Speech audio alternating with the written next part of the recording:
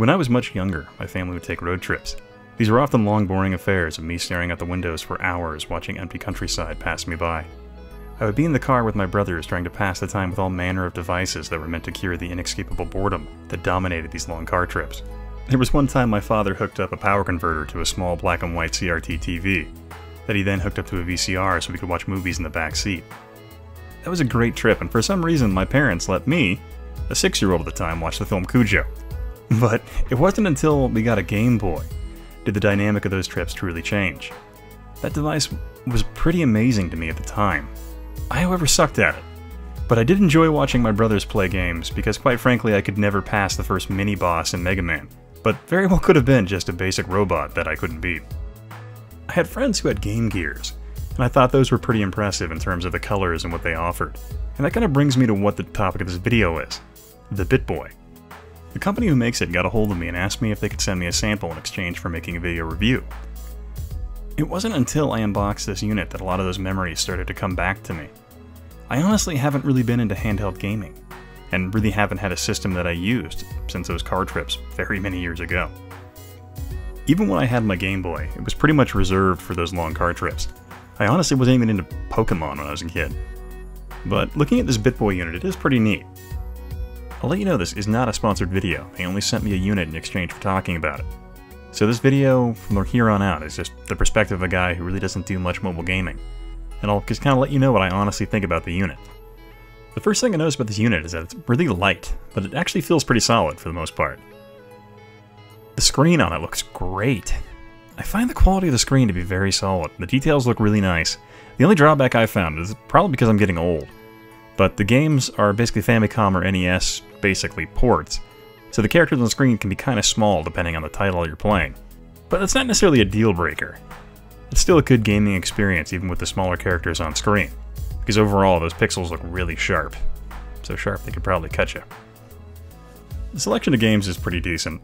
Some are Famicom games and ROM hacks, but it has a fair number of mainstream titles that I enjoyed on the NES as a kid.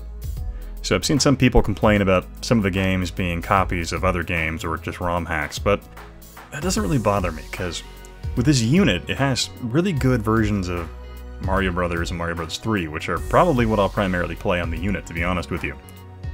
The other games don't necessarily appeal to me that much, but it does have Tetris and a number of other games that were fairly decent NES ones.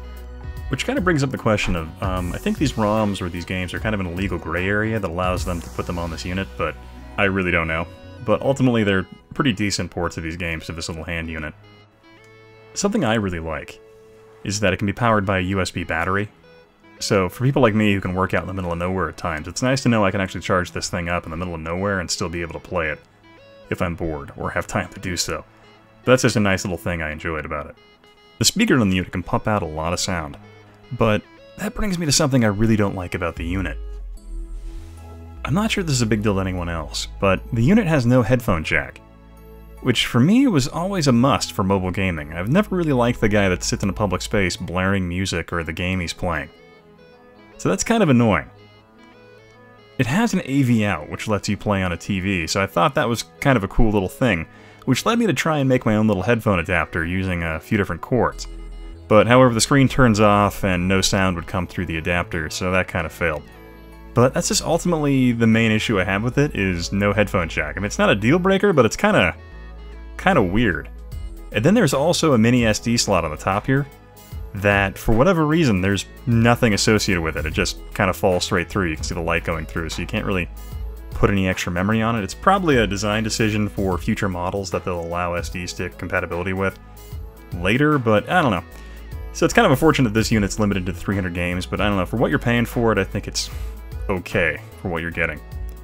And something else I kind of wish this little system had was I wish it had more RPGs on it. Like Final Fantasy or something along those lines, something that could eat up a little more time, but I don't think you'd be able to save on the system. But then something else, like the buttons are in reverse to what the Game Boy was. That takes a little bit of getting used to, so but not a huge thing. And if you're a big guy like me, your hands can get kind of cramped on this tiny small control surface. But then again, I'm also a dude who liked the original Xbox controllers when they first came out, so that's my little repertoire for how big I like controllers to be. So it's not terrible. But overall, for a guy who doesn't really get into mobile gaming at all. This isn't a bad unit for what they're asking for, which their market value, I guess, is $39.99. Even though the unit doesn't have any actual Game Boy games on it, it still gave me a good little bit of nostalgia from all those road trips so many years ago. Hey, thanks for watching Historic Nerd today. So this is kind of a little more different of a video I've ever done. Um, they kind of offered the product to me. I guess they're doing a thing where they're offering 20% off until Christmas or something along those lines. So I'll put all that information down in the bottom of the description here if you're interested in picking this little unit up. I thought it was pretty fun. Uh, I'm not paid by them or anything. I just thought it was a neat little unit that they sent me.